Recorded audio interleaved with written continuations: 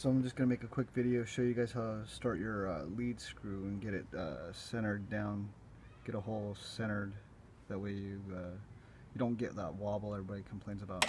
So um, I take the center drill, and so I've already started this, but I take the center drill, I put this, uh, put the lead screw in the vise, start my hole, get it somewhat centered up as best you can, and then what, then what you do is you take a smaller bit, something something like this one here, right? Stick it in the stick it in the vise here, and then when you uh, after you started your your center drill, what happens is, is is the stock spins and it can't spin off center, so it always finds center, right? So when you're drilling, if you the faster you keep it, the more centered you'll be, and then that way you're concentric when you're drilling your hole. So I'll just give you a quick demonstration.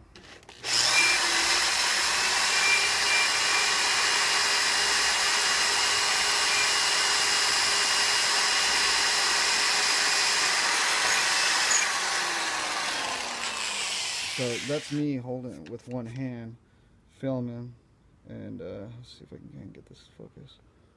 Let's see, and that's your center. Yep. So stock will always spin on center. It won't spin off center. Otherwise, it just can't. It's you know the whole centrif centrifugal force. Anyway, uh, I uh, hope this helped. Uh, so what I usually do is I I start with the small, then I work my way up to the bigger one, and then I'll take some um, JB Weld and just put it on put it on my motor because it's pretty much going to be a permanent deal. And then you don't have to worry about anything. Uh, thanks for your time, guys. Peace.